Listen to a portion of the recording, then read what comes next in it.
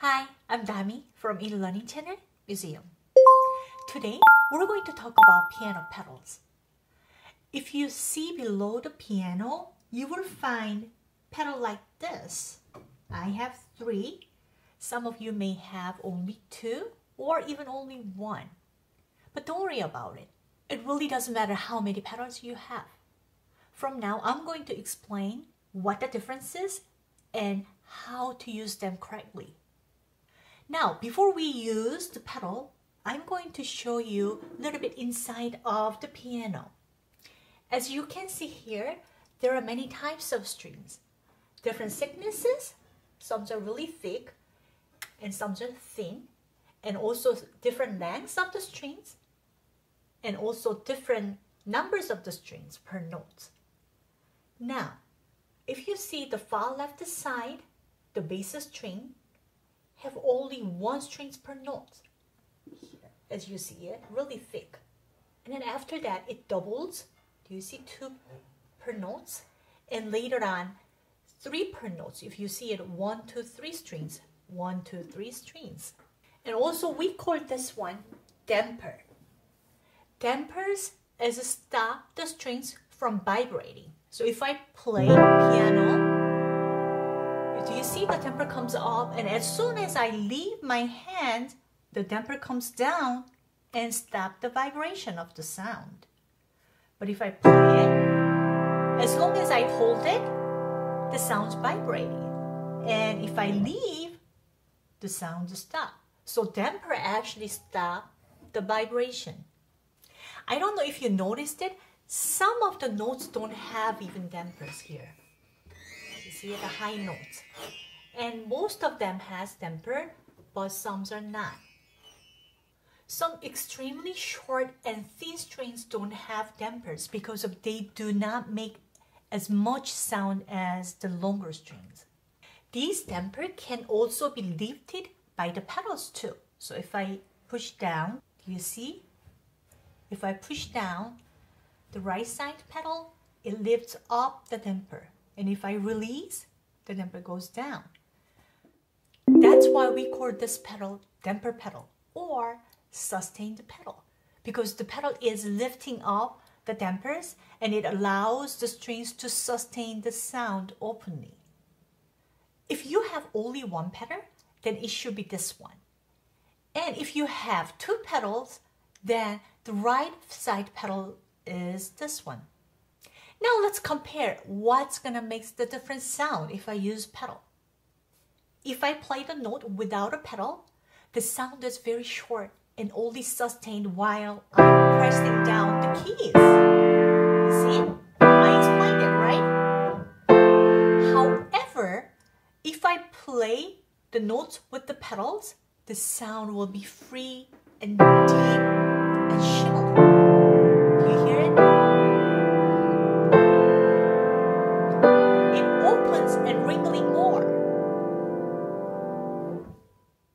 Now I'm going to move far left pedal. If you have two pedals, then your left pedal should be this one.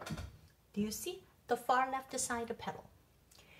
As you can see, if I press down the left side pedal, my entire piano key is shifting to the right. Do you see how it moves?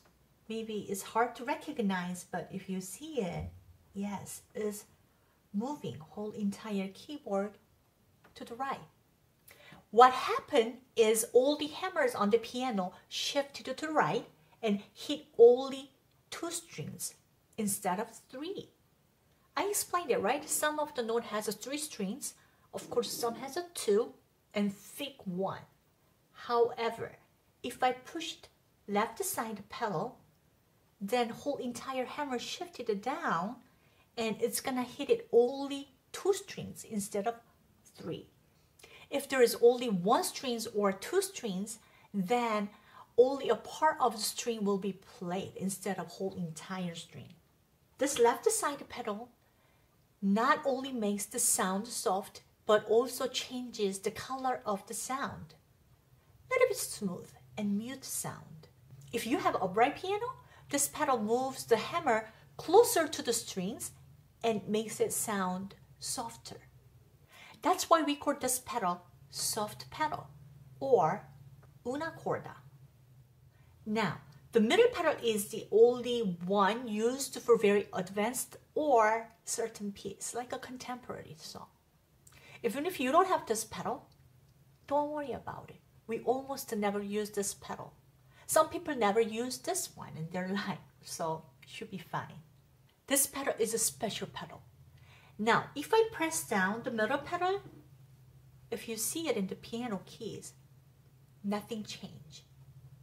As you see, if I press down the right side pedal, it lifts up the dampers and opens the strings. If I press down the left side pedal, it moves the keys and hammers to the right. But the middle pedal doesn't show any differences. However, you press down the pedal and play a note, it's going to lock one note of the hammer. Do you see it? Even if I release the hand, it just keep holding it. Only one note, not entire damper, but only one note. And leave it the last of the note just as it is. Do you see? I can do even staccato. And one note is still locked. That's what this pedal is for. We call sostenuto pedal because it's going to sustain only one note or only the note that I play. It can be two, two or three, but I press down the pedal, play the note, and locking up and play Nothing affects to the, the sound, but the first one that I played. Now you know all these three different pedals and how they work.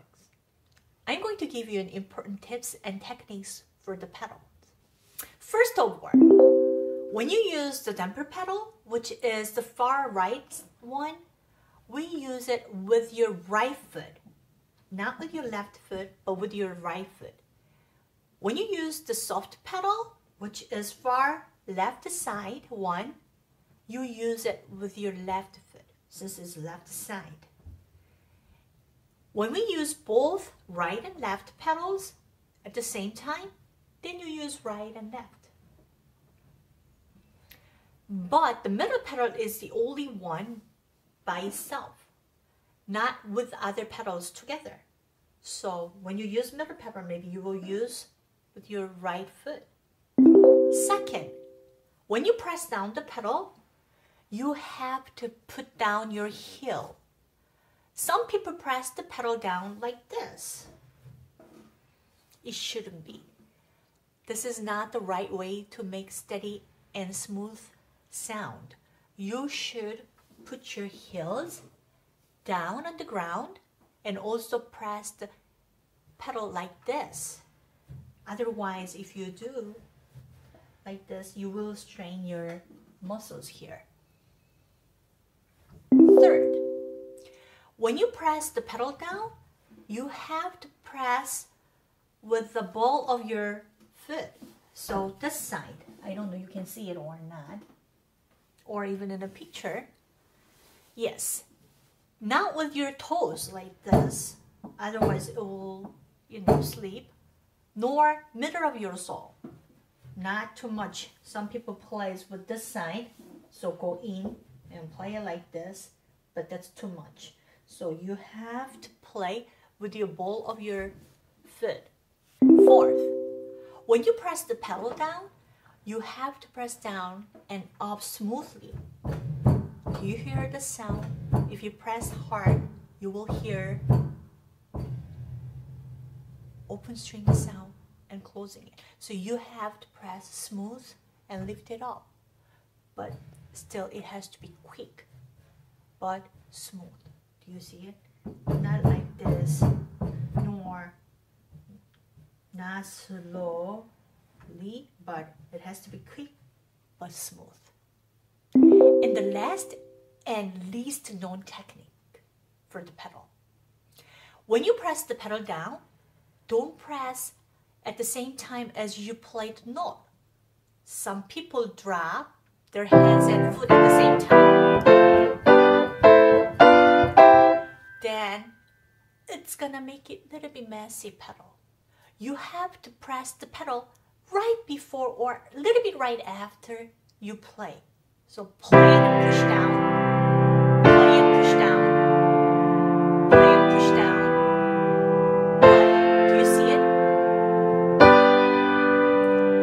right after.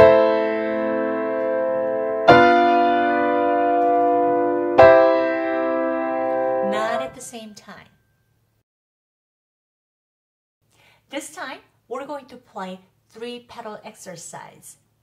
We're going to use pedal in the actual song.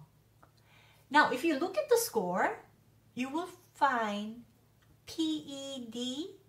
It's really hard to tell PED, but this is PED letter. And written, and with the lines on it, and then with little signs like this. Yes, this is pedal sign. So most of the time, if you see PED means pedal. And when they say pedal, means mostly the damper pedal, not the left side one, nor the middle one, but the right damper pedal. Now, if you see the PED, you start push down until you see the mark looks like this. It's either that or the other. This mark means you change the pedal. So lift it up and push down again. Normally this pedal sign used in the middle of the song. So it means whenever you see that one, you just lift it up the pedal and then push it down. Or it will be like this, means end of the pedal. So you just lift it up. You don't push down again, but just lift it up. Got it? Now let's see on the piano. The first one starts with your left hand. Most of the time, pedal goes along with your left hand chord. Of course, it can go with your right hand, but many times it goes along with your left hand chords. So now let's see. Left hand chord to start with C and skip, skip up. So C major chord. One, two, three, four half step and one, two, three half steps. So this is the C major chord. And stepping up. First, try it without a pedal. Step up, up, up, and you come down, down, step up, and step up, down,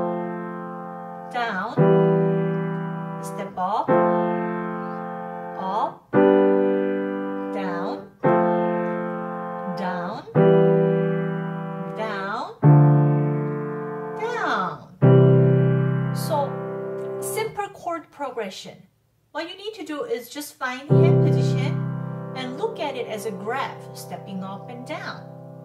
Then if you have to step up, you just literally shift it up and play it down. Do you remember? I said in the technique, you have to move it as a unit. Just lift it up your hand and push it down because the distance of the key is exactly the same. So you don't have to look for the note but instead you have to just lift it up and shift it down. Now, this is easy. The problem part is when you add left hand with your foot pedal. How it's gonna work. Let's see. Now, if you see PED, you can start from pushing it down. If it's very beginning of the song, just start pushing it down and you can play it that's fine. Or you can just start playing and push down later. But you have to remember, if you want to push down after, then hold it down and push the pedal. Don't drop it at the same time. Do you remember I said in previous? You have to hold it down the pedal a little bit before the notes or a little bit after the notes, not at the same time.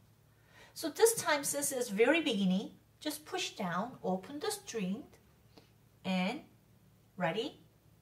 Play it. And the next note, you have to keep holding. Don't lift. Shift it down. play it and lift it up. Do you see? This is really important. Most of the time, people are playing lift it up same time as your foot and hands and drum at the same time.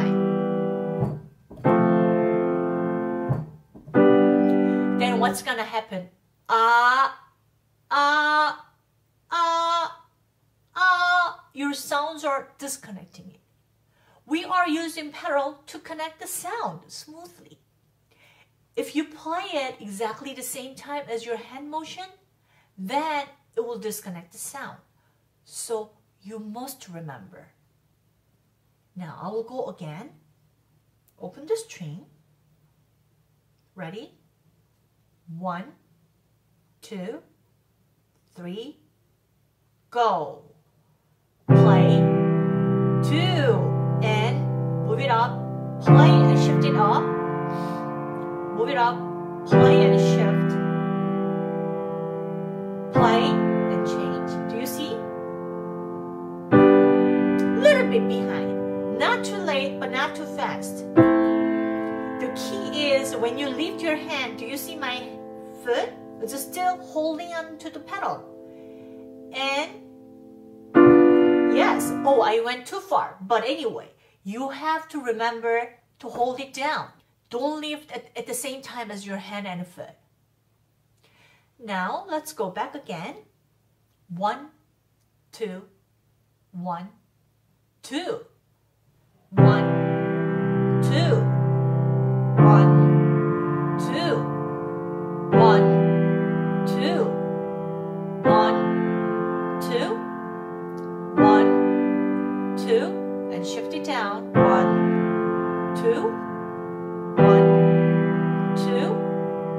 One, two, it up.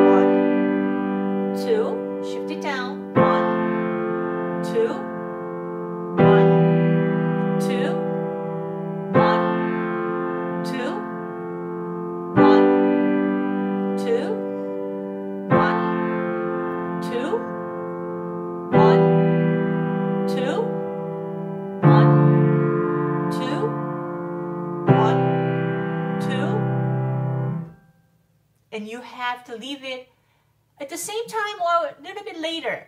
But when you change it, you have to change before or a little bit after playing. Got it? Now let's see the exercise two. Exactly the same thing, but we will play it in both hands together. So it's about the same. Ready? One, two, one, two, one, two, and lift it up and play it and shift it. Play and change, two. Play and change, two. And do you see I lift it up and move it on to the next note, but my foot is still hanging there. You have to push it down. One, two, shift it down, one, shift it down, one, two, shift it up, one, two, shift it up,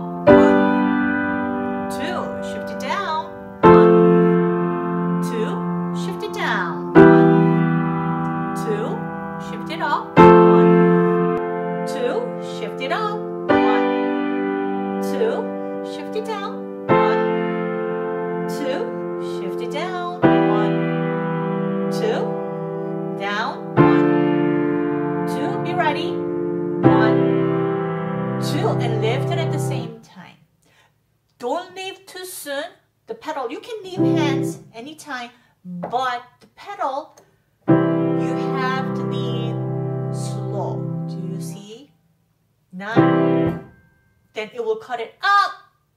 So you have to hold it up smooth. Up, rather than up. Do you see it? That's what's going to happen if you cut it too smoothly leave it up. Got it? Now the next song is kind of tricky. Problem is your changing pedal time is really short. So you have to change the pedal as soon as possible. Now let's see.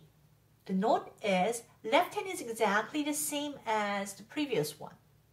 But the problem is your right hand. Your right hand plays the same chord, but instead of blocking off, this time you breaking up and move it up. So without a pedal, it's really easy song.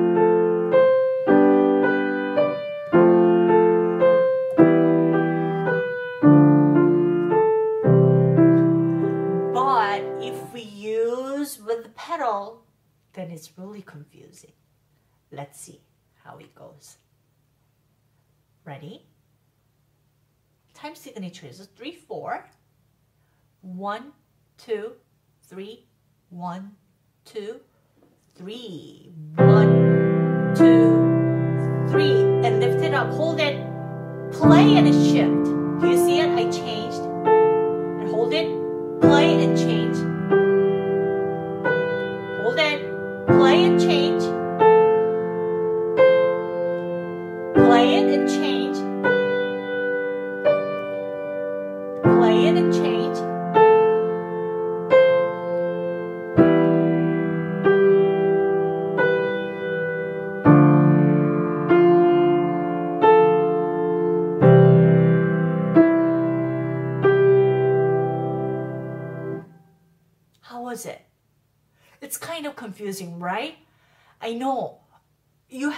Tendency to leave your foot and hands at the same time, but you have to hold it up. Otherwise, sometimes people are leaving at the same time or even forget to change the pedal and can just keep holding it whole through the entire song.